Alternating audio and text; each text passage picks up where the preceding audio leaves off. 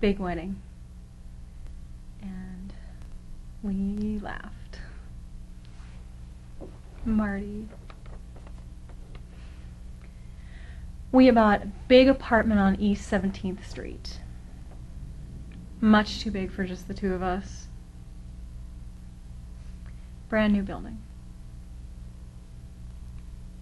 We had a terrace and a window on three sides. Was almost the penthouse. We'd been married about three months. Not quite. And I think I was pregnant. I was. We talked about it and I was late. Anyway, I could have been. And we were standing by the window. I didn't have any clothes on.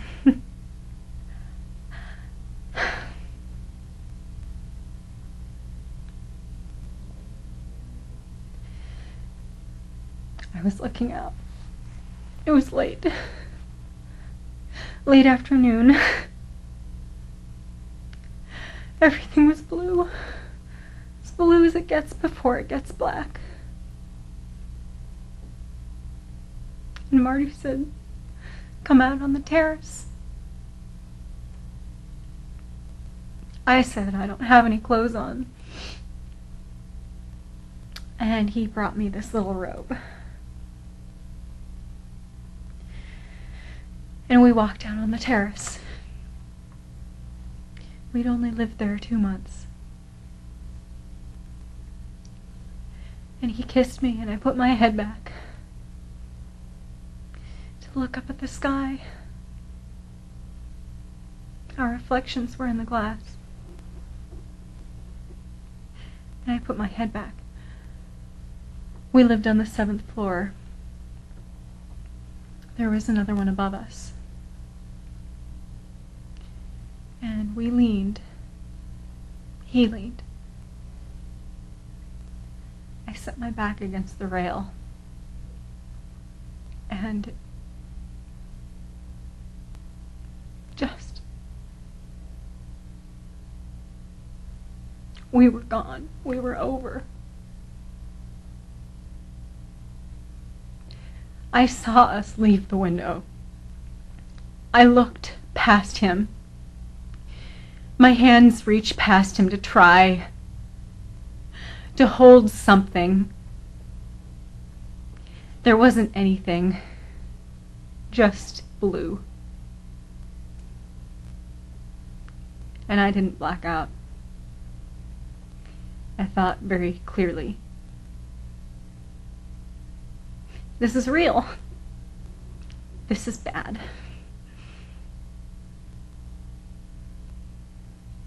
And it's true. You see everything pass before your eyes. Everything. Slowly, like a dream. And Marty was.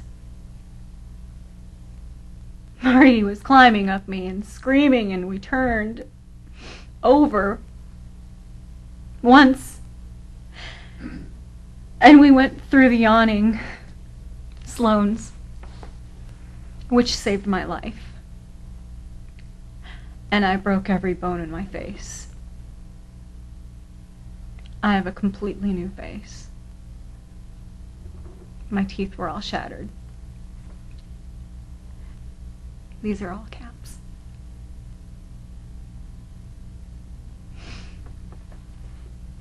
I was in traction for 10 months. Tom came to see me every week, every day sometimes. Marty's family, who sued the building.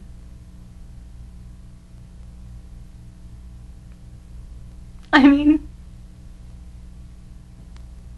they never even they never even attached it to the wall. It wasn't even attached.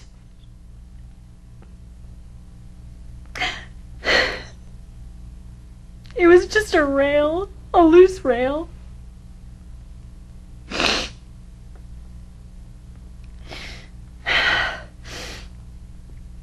There was another one on another floor.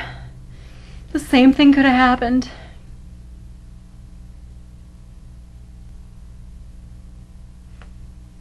Oh.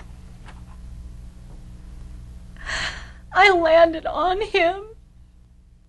I killed him. I can't. I.